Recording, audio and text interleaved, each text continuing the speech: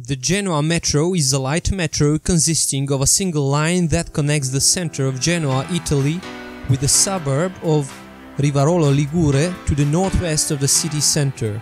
The service is currently managed by Azienda Mobilità e Trasporti, which provides public transport for the city of Genoa.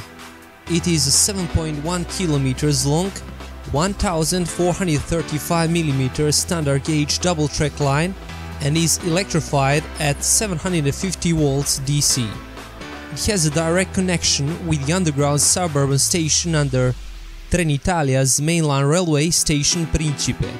The first section opened on 13 June 1990 in time for the Football World Cup was 2.5 km between the stations of Brin and Dinegro.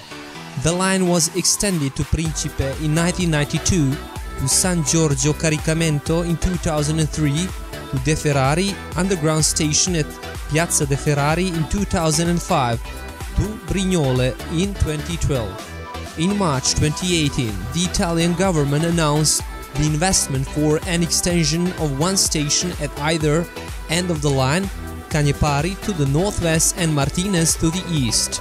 In addition, a further three train sets would be bought to accommodate the extension. Total number of stations is 8. Annual ridership is 15,224,938 passengers.